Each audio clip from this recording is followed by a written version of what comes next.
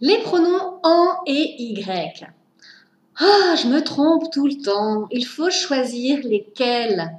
En ou y Dans quelle phrase? Je suis Nathalie Porte et je suis là pour vous aider à progresser en français de manière simple et efficace. Alors vous l'avez compris, aujourd'hui nous allons parler de ces deux petits pronoms qui vous posent beaucoup de problèmes la première question qu'on peut se poser, c'est mais pourquoi c'est si difficile? Pourquoi quand on apprend le français, on a des difficultés avec ces deux pronoms? Bon, la première chose, c'est que probablement dans votre langue maternelle, ces deux pronoms n'existent pas. Ils n'ont pas d'équivalent exact. Vous ne pouvez pas les traduire précisément. C'est une des difficultés. Une autre difficulté, c'est que c'est des tout petits pronoms, hein, une lettre, deux lettres, que les francophones natifs glissent partout dans leurs phrases. Hein. Vous les trouvez vraiment, vraiment beaucoup. Parfois, vous ne les identifiez même pas quand les francophones parlent très vite. Pourtant, ils sont bien là. Pourtant, c'est ce qui fait que la langue française est correcte. Hein. Il faut les utiliser dans de très, très nombreuses situations. Donc, vous, vous devez pouvoir les utiliser aussi. Observez bien. Vous avez là des phrases, mini, un mini dialogue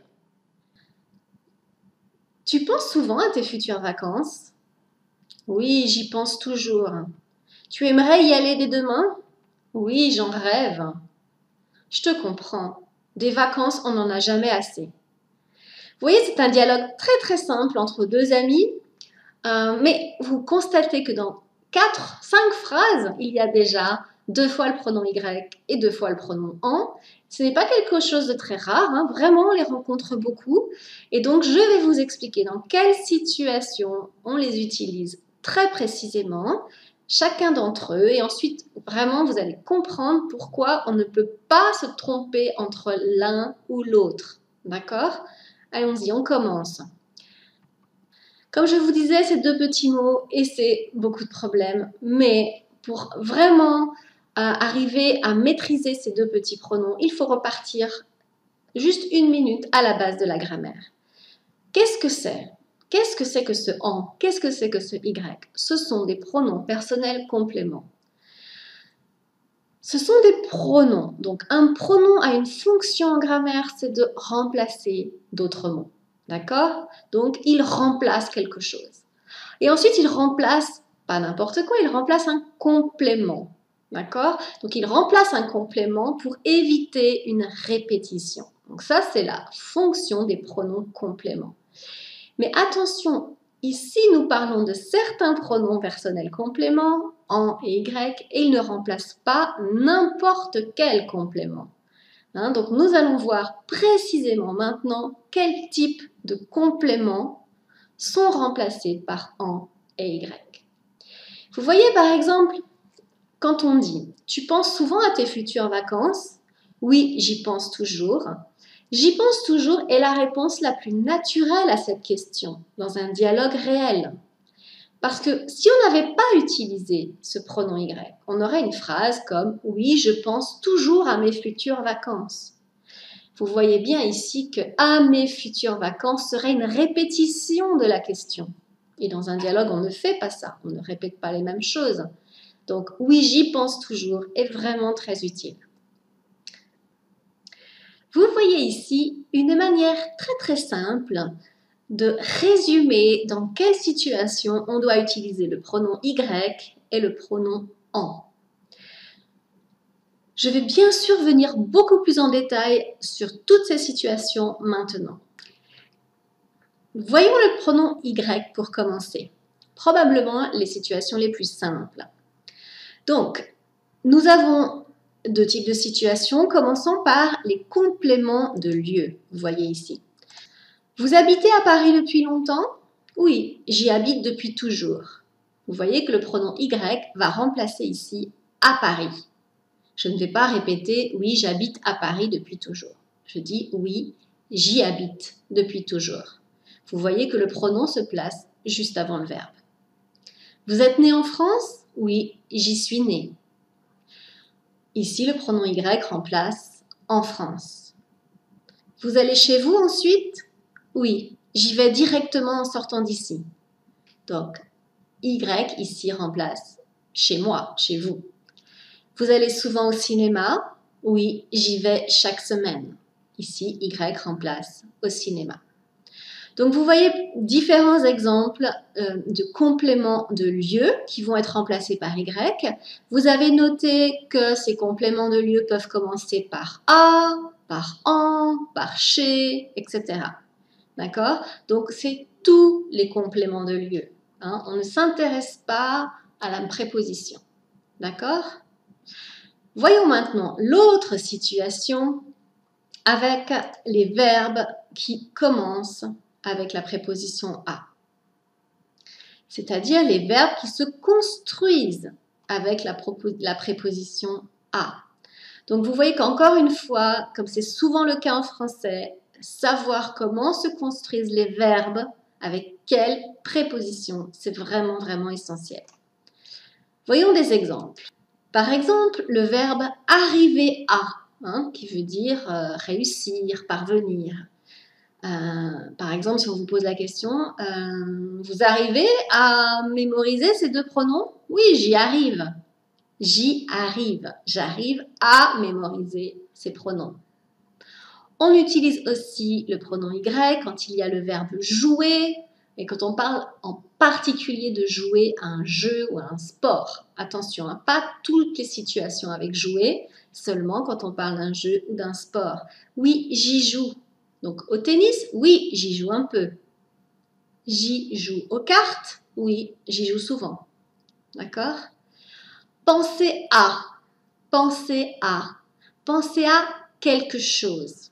Pensez à quelque chose. Euh, vous pensez à vos vacances? Oui, j'y pense tout le temps. Attention, j'ai bien dit penser à quelque chose parce que là il y a un point très très important, ce n'est pas pour les personnes, c'est pas penser à quelqu'un. Si vous pensez à quelqu'un, vous remplacez par un pronom tonique. Vous pensez à vos enfants? Oui, je pense à eux. On ne dit pas j'y pense, je pense à eux. Vous pensez à votre mari? Oui, je pense à lui. Vous pensez à votre femme? Oui, je pense à elle. D'accord? Donc quand c'est une personne, n'utilisez pas le pronom Y avec pensée. D'accord? C'est la même chose avec d'autres verbes que nous allons voir maintenant. Par exemple, répondre. Donc là, répondre à quelque chose. J'ai beaucoup de demandes, mais je n'y réponds pas. Donc je ne réponds pas à ces demandes. D'accord? Mais là, on ne parle pas de personne non plus, attention, seulement une chose. Croire à. Vous croyez à l'amour durable? Bien sûr que j'y crois. Croire à. Tenir à quelque chose. Euh, tenir à quelque chose, ça veut dire accorder de l'importance à cette chose-là, être attaché à cette chose-là. Vous tenez à votre travail? Oui, j'y tiens beaucoup. Ce qui veut dire c'est important pour moi. J'y tiens beaucoup. Renoncer à quelque chose, je n'y renoncerai pas. Euh, à apprendre, je n'y renoncerai pas. Réfléchir à quelque chose. Oui, je vais y réfléchir. Vous m'avez dit quelque chose d'intéressant, je vais y réfléchir. Participer à. J'aimerais y participer. Oh, vous avez un programme très intéressant, j'aimerais y participer. Et ensuite, il y a certaines euh, formes avec être, plus un, un participe passé. Être habitué à quelque chose. Vous y êtes habitué à apprendre le français? Être attaché à quelque chose. J'y suis attaché. Au français, j'y suis très attaché. Être attentif à quelque chose. Vous y êtes attentive. J'y suis attentive. S'intéresser à quelque chose, je m'y intéresse beaucoup. Vous vous intéressez à l'environnement? Oui, je m'y intéresse beaucoup. S'engager à quelque chose. Je m'y engage. Vous vous engagez à apprendre régulièrement? Oui, je m'y engage.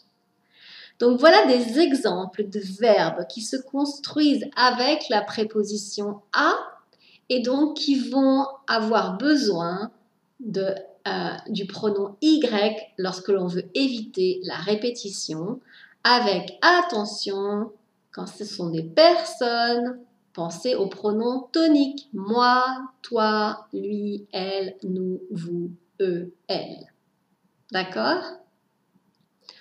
On continue. Voyons maintenant le pronom en. Donc apparemment, il y a plus de situations où on doit l'utiliser, mais en fait, trois de ces situations sont très proches. Donc, vous voyez ici les articles indéfinis, un, une et des, ou alors les articles partitifs, hein, c'est quand on, exprime une quantité qui n'est pas définie, hein, une quantité qui est un peu euh, euh, générale, on va dire, et ensuite une expression de la quantité plus précise. Donc, voyons ces différents exemples. Vous avez une carte de visite? Oui, j'en ai une, la voici. Donc là, on évite la répétition de j'ai une carte de visite. Hein. Si on vous pose la question, vous avez une carte de visite, vous n'allez pas répondre oui, j'ai une carte de visite. Vous allez éviter cette répétition. Donc vous allez dire oui, j'en ai une, la voici. Euh, une adresse email? Oui, j'en ai deux. Encore une fois, on ne va pas répéter oui, j'ai une adresse email. J'en ai deux. J'en ai deux. Vous avez des enfants? Non, je n'en ai pas encore. Observez la place de en ici. Hein.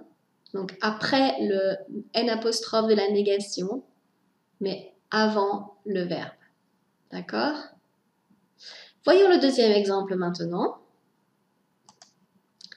Les articles partitifs, donc du, de, la et des. Hein. je viens de vous dire que l'on parle ici de quantités qui ne sont pas définies. Par exemple, vous voulez du gâteau? Oui, j'en veux bien, merci j'en veux bien. Vous n'allez pas répéter oui, je veux bien du gâteau. Euh, vous êtes au restaurant et vous demandez on peut avoir du pain? Le serveur va vous répondre oui, je vous en apporte tout de suite. Je vous en apporte tout de suite. Vous avez de la chance? Non, je n'en ai pas beaucoup. Observez bien que très souvent, quand on parle de quantité et d'articles partitifs, on pense à des choses qui se mangent, par exemple, des choses concrètes, mais vous pouvez tout à fait l'utiliser et vous devez l'utiliser avec des choses qui ne sont pas concrètes, comme de la chance, de la patience. Hein. vous avez de la patience Oui, j'en ai. D'accord? De la, du ou des articles partitifs. Voyons maintenant l'expression de la quantité de manière plus précise. Donc on est très proche des situations précédentes. La différence est que nous allons avoir une précision sur le type de quantité. Quelle quantité? Donc par exemple, vous voulez cette part de pizza? Non merci, je n'en veux plus. Je n'en veux plus. On va remplacer une part de pizza. Cette part de pizza. Une part de quelque chose est plus précis. Vous avez beaucoup de temps libre? Non, j'en ai très peu. Donc là, beaucoup de. C'est une manière d'être plus précis sur la quantité. Beaucoup de, vous allez remplacer par en exactement de la même façon que si c'était quelque chose de concret. Hein, comme je vous l'ai dit, on peut parler aussi de choses abstraites quand on exprime la quantité. Donc on a vu une part de pizza, beaucoup de, un peu de, un peu de sucre, oui, j'en prends juste un peu un peu de va être remplacé aussi par en. Et puis toutes les quantités, par exemple, un litre de, un kilo de, un paquet de. D'accord? Un litre de lait, oui, j'en ai. Un kilo de farine, oui, j'en ai. Un paquet de pâtes, oui, j'en ai. D'accord? Donc, on est dans des différents types de situations, mais qui se rapprochent en fait nous avons donc les articles indéfinis 1, une D et l'expression de la quantité, que ce soit précis ou imprécis, comme avec les articles partitifs. D'accord? Donc voilà pour ces trois premières situations avec en, situations qui sont assez proches les unes des autres. Voyons maintenant la dernière situation où on va utiliser le pronom en il s'agit des verbes qui se construisent avec la proposition de. Par exemple, nous voyons ici faire de plus une activité. Par exemple, vous faites de la moto Oui, j'en fais tous les week-ends. Donc, pour éviter la répétition de de la moto. Je ne vais pas dire oui, je fais de la moto tous les week-ends, je vais dire j'en fais tous les week-ends. Un autre exemple, jouer de plus un instrument de musique. Vous jouez de la guitare Oui, j'en joue avec mes amis. Vous voyez que c'est très très important de savoir comment se construit le verbe Précédemment, on a vu jouer à un jeu. Ici, c'est jouer de un instrument de musique. Donc, si, vous devez bien connaître ces prépositions associées au verbe pour ensuite bien utiliser le pronom correspondant. Donc, quand on parle d'instrument de musique, j'en joue. J'en joue. Parler de quelque chose. Vous préférez parler de la météo? Non, n'en parlons pas. N'en parlons pas. Rêver de quelque chose. Vous rêvez d'être une princesse? Parfois, j'en rêve effectivement. Venir de, sortir de, on parle de la provenance. Je ne veux pas retourner au supermarché, j'en viens. C'est là le lieu d'où je viens. Ensuite, il y a des constructions avec avoir qui sont très très utilisées. Avoir envie de, j'en ai envie. Avoir besoin de, je n'en ai pas besoin. Attention à la prononciation qui est parfois un peu compliquée avec le en plus la négation, vous devez enchaîner les mots. Je n'en ai pas. Je n'en ai pas. Avoir peur de les serpents Bien sûr que j'en ai peur. J'en ai peur. Honte de. J'en ai honte. Penser de quelque chose. Hein. donc penser de dans le sens de donner son opinion, exprimer ses idées. Qu'en pensez-vous? Qu'en pensez-vous? Je n'en pense rien. Douter de quelque chose. J'en doute. J'en doute. Se plaindre de. Il s'en plaint beaucoup. Souffrir de. J'en souffre un peu. Manquer de. Non, je n'en manque pas. Vous voyez donc que nous avons parcouru ces quatre situations avec le pronom en, les articles partitifs, les articles indéfinis, l'expression de la quantité, et d'un autre côté les verbes avec la préposition de. Je partage avec vous un petit truc pratique hein, qui peut vous être utile. Euh, en fait, vous avez vu que le pronom y et le pronom en euh, sont associés à des verbes qui se construisent avec certaines prépositions. Et pour pas confondre les deux, ne pas faire de confusion, vous pouvez vous rappeler que y, c'est une seule lettre et il est associé à la préposition à. Hein, c'est-à-dire qu'en fait, quand un verbe se construit avec la préposition à, il est associé avec Y, une lettre, une lettre. Le pronom en, deux lettres, est associé avec la préposition de, de lettres, deux lettres, deux lettres. D'accord? C'est un moyen de vous rappeler de ça. Donc vous avez Y plus lieu plus A. D'accord? Vous avez en plus quantité plus de. D'accord? Essayez de vous rappeler de ça. Pour vous aider à mieux mémoriser et ensuite à utiliser ces contenus, je vous invite maintenant à cliquer sur le lien vers mon site Nathalie Fleur pour avoir accès à ces explications écrites, mais aussi avoir accès à un quiz. Faire ce quiz est un excellent moyen de vérifier que vous avez bien compris les différentes situations et ensuite que vous pouvez les mettre en pratique, les utiliser vous-même. Je vous incite vraiment, vraiment à faire ce quiz. Ce quiz est extrait d'un parcours guidé euh, que j'ai construit pour vous aider à vous améliorer en français avec plaisir. Donc c'est une manière originale de vous permettre de progresser en français à partir d'une histoire que j'ai écrite et que je vous lis. Donc vous avez une histoire audio et un parcours d'exercices guidés, différents types d'exercices, grammaire, compréhension, vocabulaire, prononciation, culture francophone, différentes rubriques qui vont vous permettre d'être immergé dans une histoire. Tous les exercices sont liés à cette histoire qui se passe à Paris. Donc je vous invite à faire d'abord ce quiz pour vérifier vos connaissances. Et si ça vous intéresse d'améliorer votre français de manière agréable, cliquez aussi sur le lien vers le parcours guidé qui s'appelle Mais alors, qui est cette femme? Je vous remercie beaucoup, beaucoup de votre attention. N'hésitez pas à mettre un j'aime sur cette vidéo si vous l'avez appréciée, la partager si elle vous semble utile pour d'autres personnes. Je vous dis à très, très bientôt.